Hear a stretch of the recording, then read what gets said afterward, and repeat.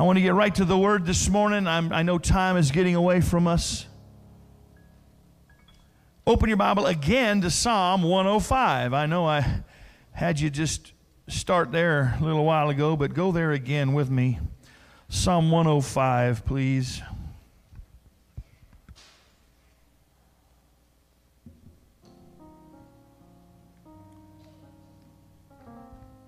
Hallelujah. If you noticed in your bulletin, in the pastoral thoughts, this is one of those ones you might want to hang on to. Just kind of tear, tear this one little side off and let it inspire you like it did me. I was going through my files and different things,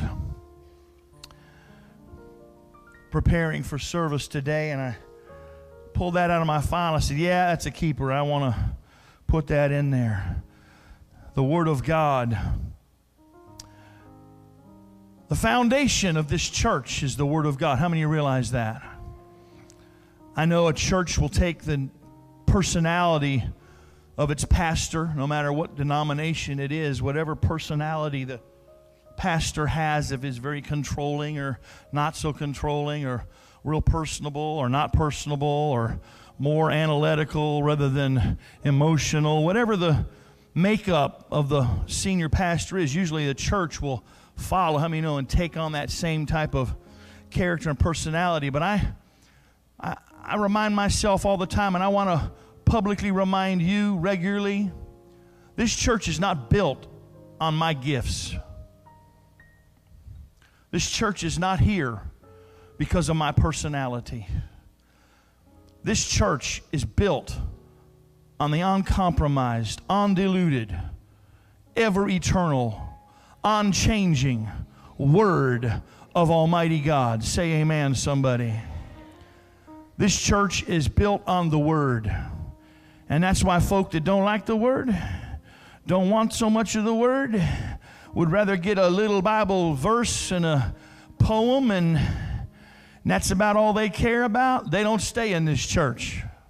It's only the reachers that stay in this church.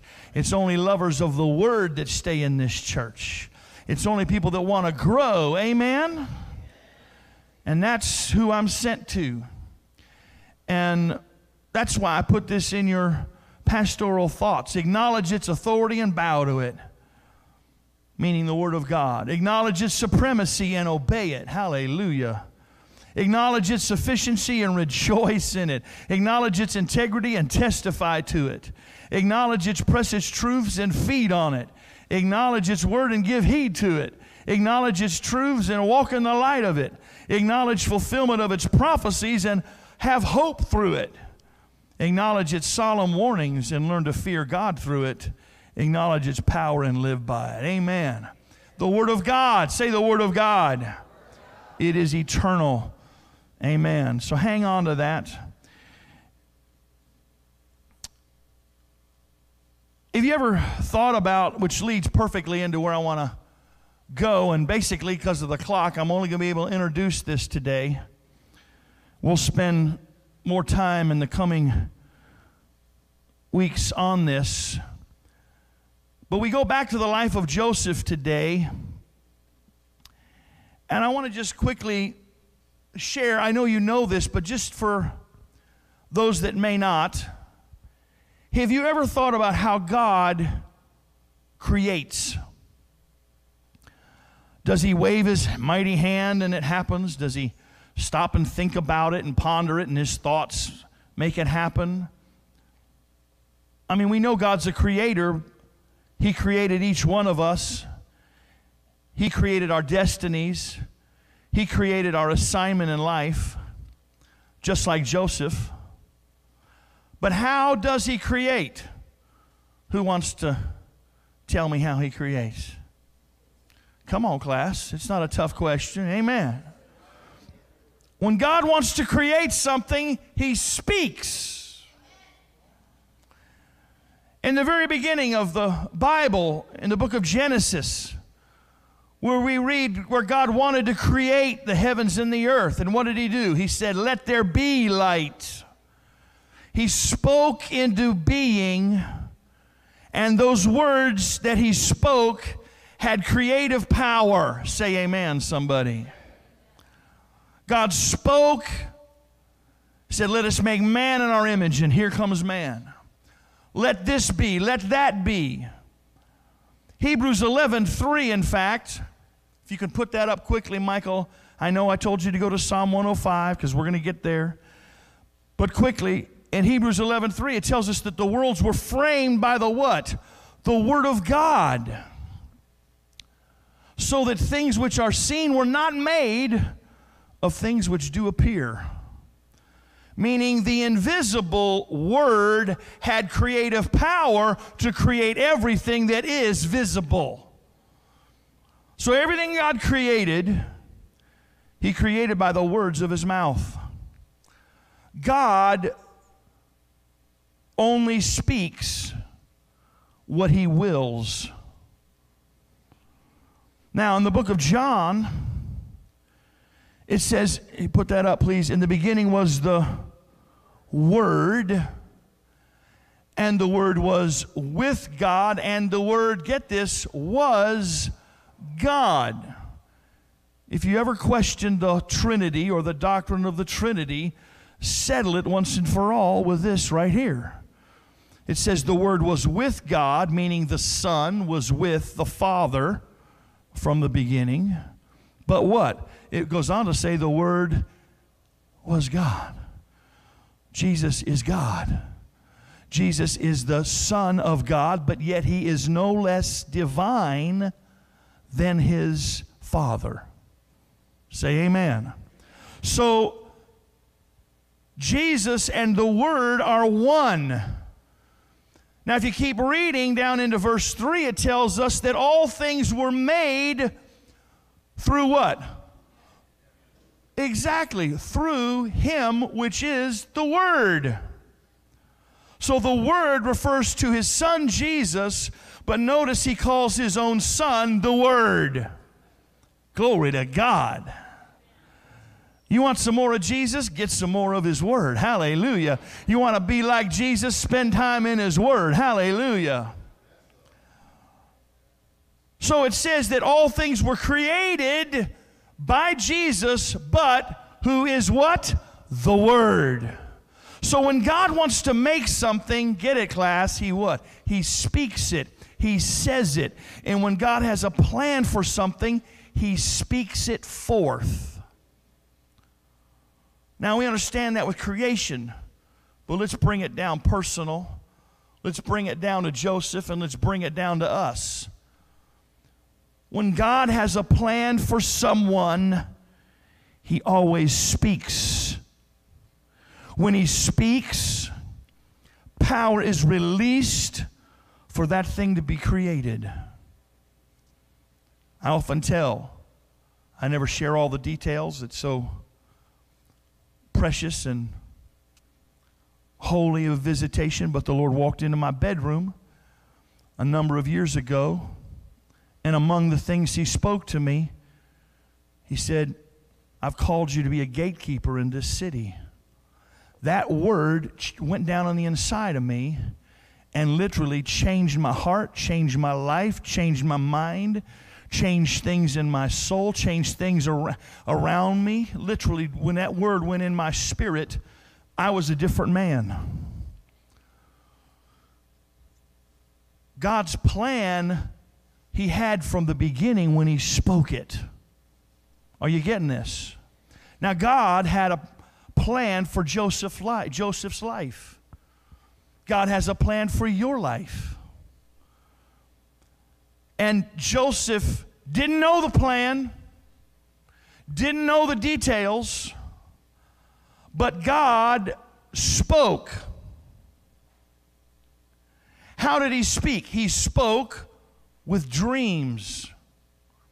Whether you realize it or not, dreams is one of the ways God speaks to us. And before Joseph ever endured a test, God had already spoken through the dreams of the destiny for Joseph. God had already spoken regarding the final outcome that he had planned. God didn't show Joseph all of the tests and all of the difficulties and all the challenges. He spoke what? The end result. Here's what I've called you to be. Here's what I've called to happen in your life. And so he saw that dream. And that dream, which was God's spoken word to him, get this, those dreams were God's spoken word to him, was a prophetic test. Say this, say the prophetic test. God has a plan for every one of us, just like He did Joseph. And as we've just understood, God has a plan for something. Whenever He does, He does what? He speaks. So that means that God has already spoken His plan over everyone under the sound of my voice. How many got that? If God has a plan for your life, and God speaks his plan from the beginning, then God has already spoken a plan over your life. He's already spoken a specific plan over my life. And when he spoke, the power was released to carry each one of us toward the destiny that he planned. Now, let me review for 10 seconds. We started with the what test? The pride test. When he passed the pride test, he had to go to the pit and went through the pit test. When he got out of the pit, he had to pass the palace test. From the palace test, he had to run to stay pure and pass the purity test. And when he passed the purity test, he got thrown in prison. So, the last one we've been dealing with for many weeks has been the prison test. But now we move to Psalm 105 and look at the prophetic test because the prophetic test is finding God's word for our life. See, God has, how many realize God has called each one of us for a specific purpose? I know a lot of preachers preach on purpose, and I do too. I love it. But understand something that purpose comes with a spoken word. That purpose comes with some kind of a promise given. You can go in my office, and there's thousands of books and special gifts and treasured belongings and I have a lot of Florida State memorabilia. It's all very important to me. I have a helmet. I call it my helmet of salvation. It's a mini Florida State helmet. It's on my desk and it's signed to Joe from Bobby Bowden. That's Saint Bobby Bowden, by the way. I have another one. It's signed by Charlie Ward. He's a saint too, by the way. Amen. I have a lot of Florida State stuff. I cherish all of them. And by the way, did you see our very own 55? I got a, got a shout out from my brother Derrick Brooks as he went into the Hall of Fame last night. I, I'll be quick on this story, but way back when Derrick came to the Bucks in his very first season, I had the privilege of having a private. He was part of a big church over there, and I won't go into the details, but that pastor was a friend of mine, invited me over, and actually went with Perry Stone. And Perry Stone did a private Bible study to the Buccaneer players at this church. And, you know, Perry's a pal of mine, and so I went with him. And at the end of the Bible study, Perry said, Joe, come on and let's pray for, uh, for the players. I couldn't wait to get to Derrick, man. I'd watched him in the Garnet and Gold win our national championship, and man, I just knew he was. And I remember praying for him, and as I laid hands on me, the Lord said, Pro Bowl, Pro Bowl, Pro Bowl. The Lord says, Tell him Pro Bowl. I wish it had been Hall of Fame, but the Lord didn't tell me that. But but he did say Pro Bowl. He's been to more Pro Bowls than any other linebacker in his position and went into the Hall of Fame last night and gave all the glory to Jesus, gave all the glory to God.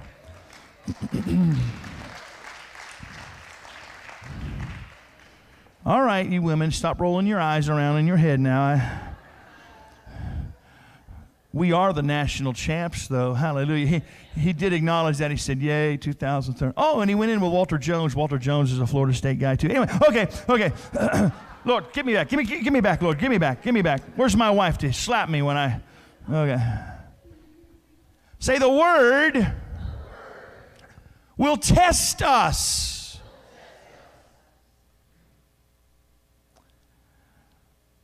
There's no one else who can do what God has called you to do. There's no one else who can do what God has called me to do. I'm not going to do your job, you're not going to do mine, but together, if you'll do yours and I'll do mine, we can go where God is taking us. Amen.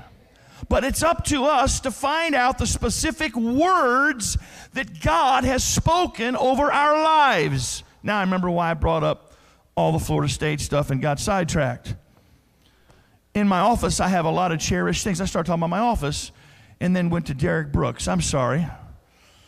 Just couldn't help it because still the euphoria of last night. Anyway, in my office, if you go to my office, there's many treasured things. Many things that, that are valuable to me as mementos. They've been gifts. I can show you different things. But there's one item that's the most important item in the whole office next to my Bible. Of course, I take that with me a lot of times. It's not in the office. But there's a little tiny picture if you ever come in my office, I'll show it to you. And my sister found this picture. And this is what I want to weave in here. Because God has spoken over all of our lives. You say, well, not me. God's never spoke to me. Well, let me talk to your mama. Because maybe God spoke something to your mother that you don't even know. Show me your grandmother. Show me someone in your life. Show me, amen, amen. Because God's the God of Abraham, Isaac, and Jacob. He doesn't just care about us, He cares what we give birth to. He's a generational God. Some mothers and grandmothers carry words that God gave them for their children. Folks, that little, that little picture is an altar in a church up in Ohio. And you see my father, he's got a flat top, black hair and a flat top. He was really young. And my mom is there, and she doesn't even look like my mom. She's so young and had. My mom was a brown hair when she was. I didn't tell you that. I just went all over the world. Now she's a. She's been a blonde for 50 years. She was actually. Okay. Okay. Anyway, you know how you women are. There's this big, massive hand. My daddy's hand laying on the chest of a little tiny, I think I would have been three, not even three year old boy. And there's Joey. There I am. My sister found this picture and framed it, gave it to me for my birthday about 10 years ago. It's the most treasured item in all my office. Why? Because there is a moment, a snapshot. My grandmother took the picture. My grandfather is in the picture. My dad is in the picture. My mom and my dad's big, massive hand on my chest, like this, covering up my, my chest. And my grandma stood up when they dedicated me to the Lord on that altar in that church.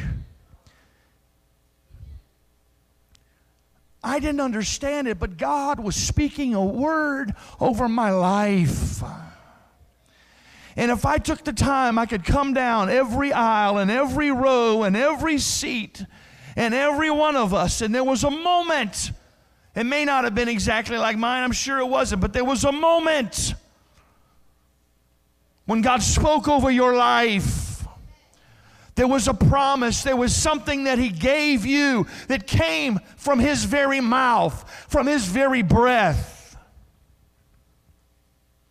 My grandfather at our wedding said these two kids, me and my wife, because we were kids when I got married. Said these kids are like bred like racehorses and they're supposed to run for the gospel mission. And the night he died was the same night I walked the aisle of Bible college and took my degree. Within hours of me graduating from Bible college, my grandpa went home to be with the Lord. All of the family signified that the same mantle that was on my grandfather in that moment came on me. Now I know it's not your story. I can't tell your story, but I can only tell mine. But the fact is is God was somewhere in our life with his promise. How many hear what I'm saying? Spoken over you, delivered to you through your family somehow. And that is the spoken word of God. And it's up to us to believe those words and, and, and claim those words and obey him. I didn't just sit on my thumbs when he said, Oh, by the way, you know, he didn't say it very casually. He spoke it directly. Called you to be a gatekeeper in this city. Son, I didn't make any mistake. I caused you to be born in this city. Why, Lord? Because you're a gatekeeper in this city. I'd spent my whole life trying to leave this city, get out of this city, run from this city. But that word went in and it changed my heart, it changed my life. And I've been running, trying to obey that word ever since. How many can understand what I'm saying to you? within weeks, we begin to pastor. I mean, just right away, we begin to pastor. God had spoken over Joseph's life, but Joseph went through some tough times. It seemed as though God's word and God's plans would never come to pass, and you and I will too. If we've got a true word from God, there's going to be moments and seasons of adversity, and it's going to look in the natural like, God, you made a big mistake. I must not have heard you. That must have been pizza. It's going to look like it's never going to come to pass. Say amen, somebody. And see, in those times, Joseph was tested, get this, by the words that God spoke over his life. Would he believe God's word or not? Would he let despair and hopelessness and circumstances rule, or would he let that spoken word rule? Oh, I'm going somewhere. See, the Bible describes how Joseph experienced this test in Psalm 105, verse 17, 18, and 19. I know I read this to you last week and I told you I was going to come back and unpack it. I'm going to unpack this for you today. And I won't get very far because I want to get you out of here. It says, He sent a man before them, even who? Joseph, who was sold for a servant, whose feet they hurt with fetters, and was laid in iron until the time that his word came. The word of the Lord tried him. My God, my God, my God. Now let me unpack this and hasten to a close. It says here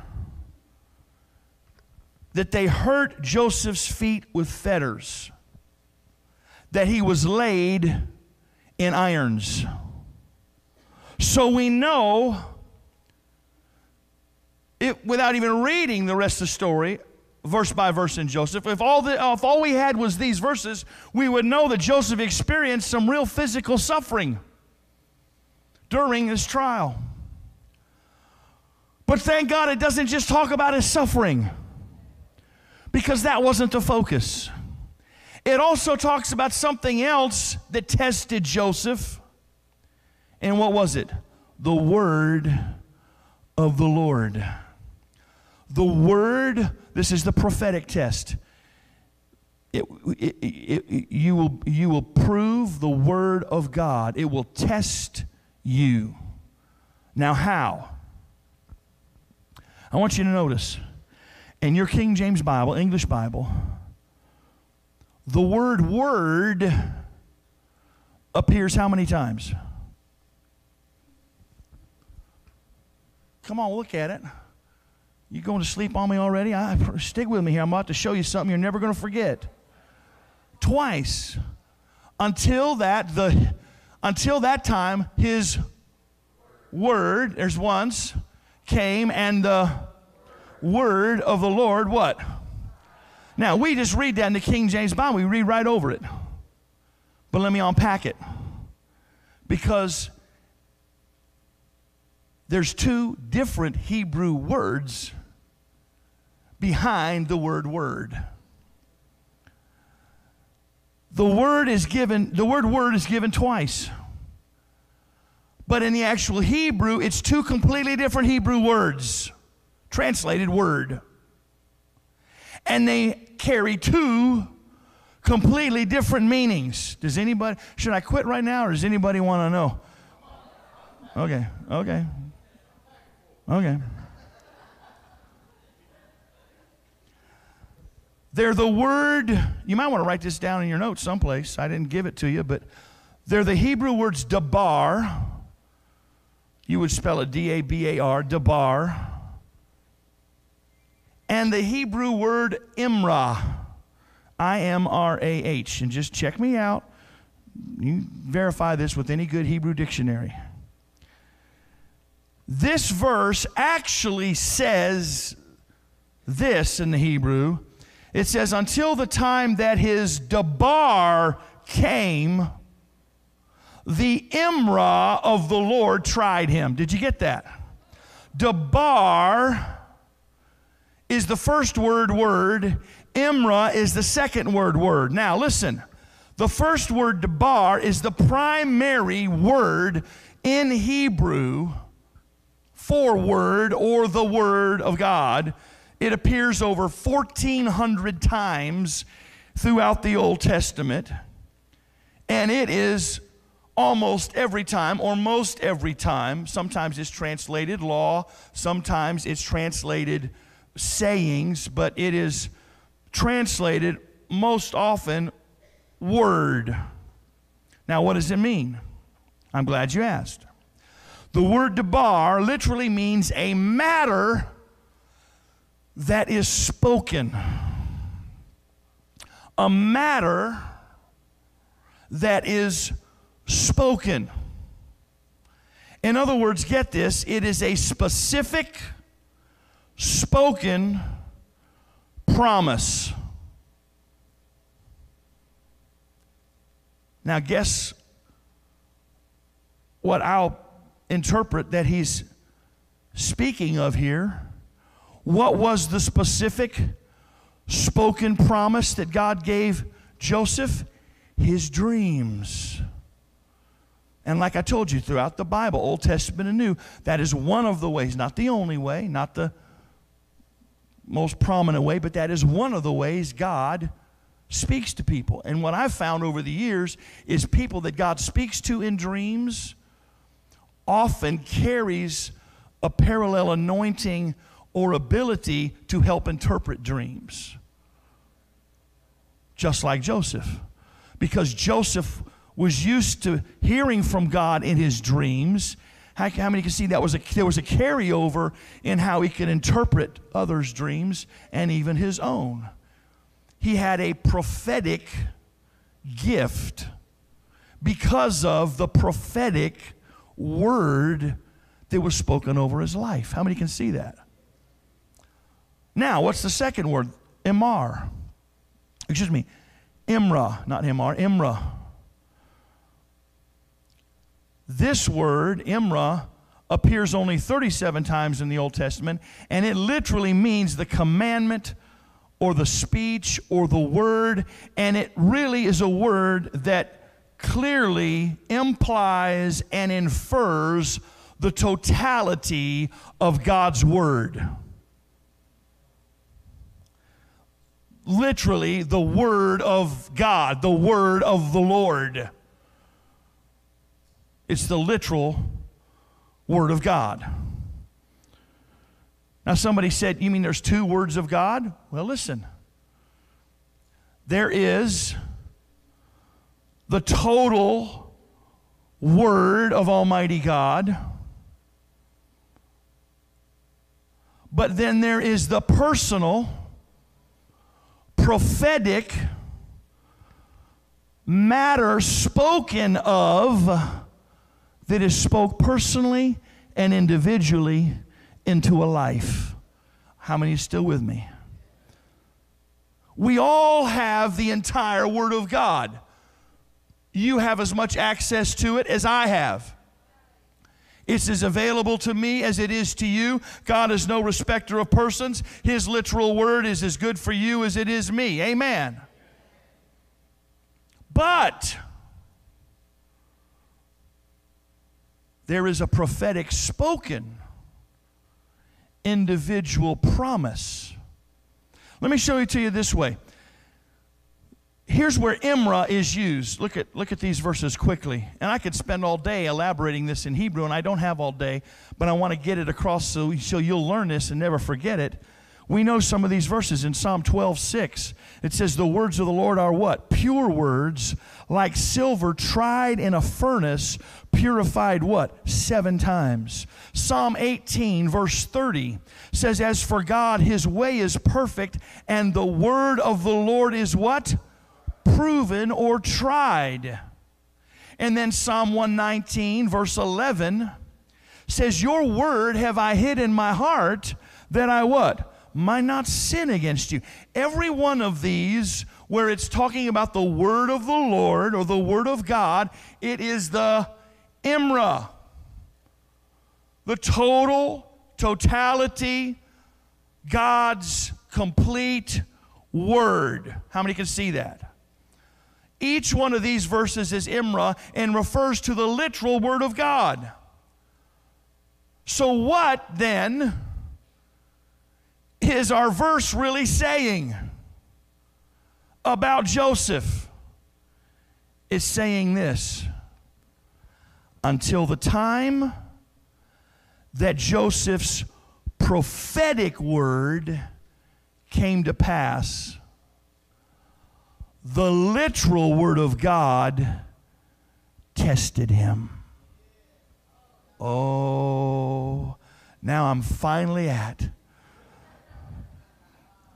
where I wanted to get to. All everything I did was introduction to get to that right there. Put this up, and I'll close here.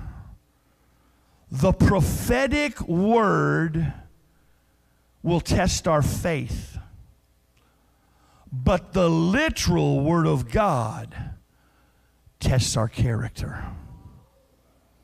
My God, my God, my God. That is the revelation I want to get to you today. Now, I'm going to come back next week. Let me help you.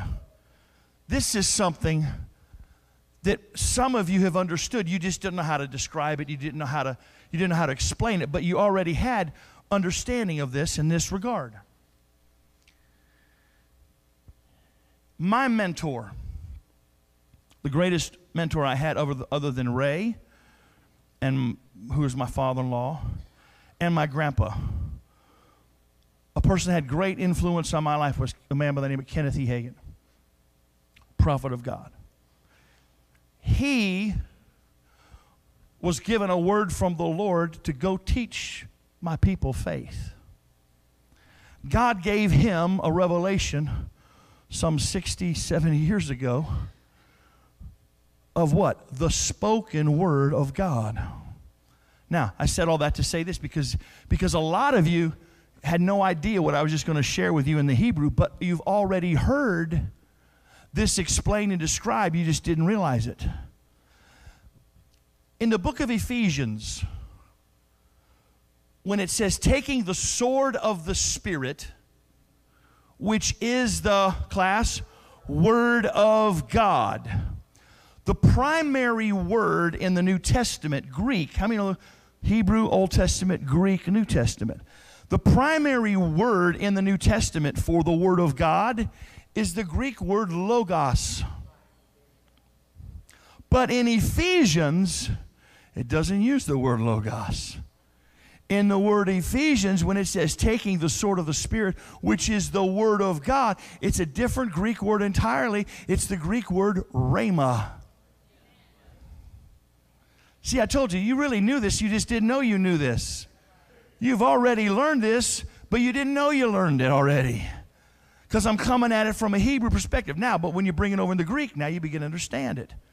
In fact, the Bible school that I went to, and what Brother Hagin was famous around the world for, is Rhema. Bible training center. I used to wear a ring on one of these fingers somewhere. My finger got so fat I cut the thing off a couple years ago, but nevertheless, I used to have this big golden ring here, big, big ring, and on the front of it had a sword coming down through the mountain, and it said Rhema right on it, which is the Greek word for the spoken word of God. How many know the sword of the Spirit is a spoken word of God? But that's a different word from what? Logos. Logos is the primary, main word in the Greek for the Word of God because guess what? It is the totality of the Word of God. When you say the Logos of God, you mean the totality of the canonized Scripture, the Word of God, the Bible. But Rhema is something specific from the Logos.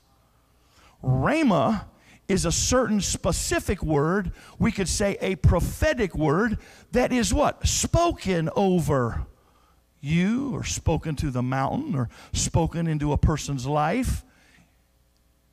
And what Paul was saying in Ephesians is when we war against the enemy, of course, we have a whole book, get this, we have a whole book that's the Logos of God.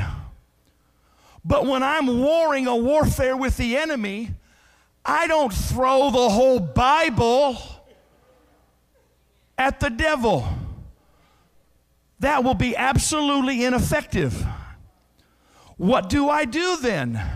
I use it like a sword, the same way Jesus did out in the wilderness when the devil tempted Jesus. Remember what he did? He said, It is written. He took the Logos, and God, as he studied it and read it and gave his life to it, suddenly the Holy Ghost took a verse and let it rise up, and he spoke it prophetically into his heart. Thou shalt worship only the Lord God, and him only shalt thou serve. And so when the devil came at him, he didn't throw the whole Bible. What did he do? He got that prophetic rhema and he spoke it out of his mouth. You got getting it? He put the rhema in and spoke it out like a sword piercing the enemy.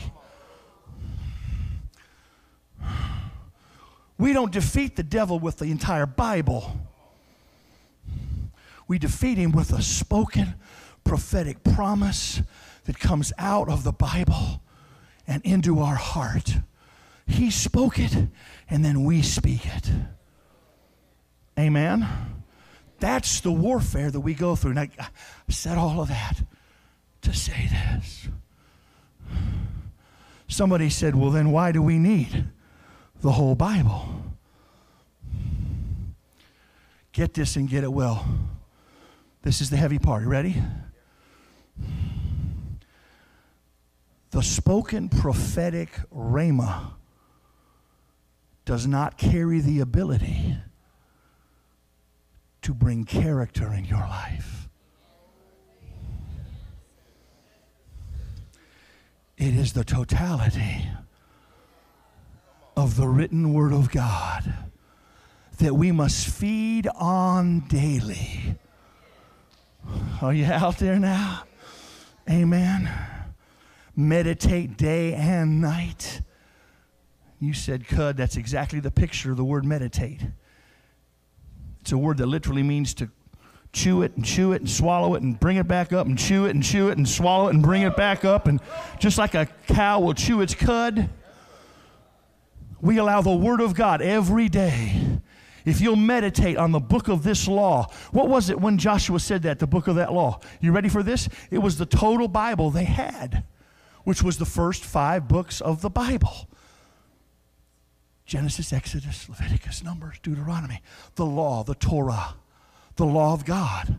So when Joshua came along and God said, meditate in the law of God, he was saying the word of God, the totality of the word of God that you've been given. Meditate on a what? Day and night, night and day. So that, here's the key, so that thou mayest observe to do. See, we live in America where we figure it's just enough. Boy, that was a good sermon. I sure did. I sure was glad I heard that. Two hours later, after they get a nice meal in them, you just come by and ask them, hey, what was the message on? Uh, uh, uh, man, it was good. I, I know it was good, man. Man, I was shouting, man. I was shouting, but, uh, can you remember any of it? Uh, uh, I didn't mention your name. No, see, here in America, we love to hear another word. Oh, just give me another word. I'm going to go somewhere with this. See, see, we're not careful. This modern day American church tries to live on prophetic word after word after oh hunting the next meeting oh i'll come over if you got a word for me oh i'll give a hundred dollars if you get a word for me come on we got a bunch of people abusing the debar instead of proclaiming the Imra. There, I just said it. Hallelujah. I just said it. See, if we're not careful, we'll abuse the Rhema and neglect the Logos. Did you get it now? And see, the, the, the, the, the Debar, the Rhema, the prophetic word is going to is gonna build our faith. It's going to challenge our faith. We're going to be able to release our faith. But you know how many people I've seen that on Sunday can release their faith and on Monday lives like the devil with two cats? Well, you're not listening to me. I got kinfolk. I won't talk about you, I'll talk about me. I got kinfolk. I mean, can raise the dead on Sunday and raise hell on Monday through Friday. Oh, did I just say it? Yeah, I did. They elevate their ability to have faith. Oh, I trust God. I'm going to believe God. I'm just going to believe God. And then Monday, chase every skirt at work. Oh, I said it there in Sunday. I said it. No, folks, the prophetic word is there. It's a part. No doubt about it. The Rhema, we need it. Because it'll challenge, it's a test of our faith. But, folks, we cannot throw out the totality of the Word of God because it is the Word of God that will prove our character. Stand up on your feet. My God, my God. I hope you never forget what I just showed you right there. Hallelujah. Don't leave here in two hours say, well, that was a good message. I, I just don't remember any of it. See, why did Joshua, that was the thought, I'll close with that. Why did Joshua say that thou mayest observe to what? Do it. See, in America, we got the hearing part down. Every new Christian television network, with every new Christian voice on there, all the churches, you know what the truth is? Is America is as godless as it's ever been. I'm telling you, America is as godless right now. Amen. It's on a deep, steep incline down. But by revival, there'll be no survival for this nation. When the righteous has lost its savor, when the salt has lost its savor, then we are no longer a preserving element in this earth. And it is scarily closer and closer and closer every day. They tell me they close about 500 churches a week in America today. You know what? In the Time magazine, I got it to show you, Rob. I may refer to it here. Whole two page spread in Time magazine about the new wave in America the atheist church. They are specifically, strategically planting, they don't call it a church. They'll call it something slick, like a gathering of human endeavor or a gathering of human interests. And it's a bunch of atheists. And they come and have a gathering like church. They have songs, and a guy will speak. In fact, one of them is a former Pentecostal pastor that is now a proclaimed atheist. Folks, it, listen, the America you were born in, the America you and I grew up in, baby, ain't here no more. It's long gone and it ain't ever coming back. So you just better realize we are living closer and closer to a post Christian era, era in America. Now, why? Because our church is anemic? How can a man preach in a pulpit for years, be a pro Pentecostal ordained minister, and become an atheist and leave the pulpit? And, and they don't want to just go to hell themselves. They want to take as many people to hell with them as they can. Why? Because, folks, it's not enough to hear the word. That Pentecostal preacher probably lived on Rhema words while he neglected the Word of God. Are you getting that? It's the Word of God that's consumed that will build our character. Let's lift our hands toward heaven. Father, I thank you. Lord, I know this is a strong word. I know this is not an easy word. I know this is a this isn't a run and and dance in the street word, but Lord, we need to hear it. And Lord, I just thank you for your presence that manifested in this service today. And Lord, we glorify you. Above all else, we glorify you. And I thank you that your word is manna from heaven. Oh, taste and see that the Lord is good. Lord, bless everyone under the sound of my voice, and I release the saints this day for your honor and your privilege and your pleasure. Lord, let us walk in our assignment and fulfill the dream you have on our life. In the mighty name of Jehovah. And everyone said, Amen. Amen. God bless you. I'll see you Wednesday night. Amen. God bless you.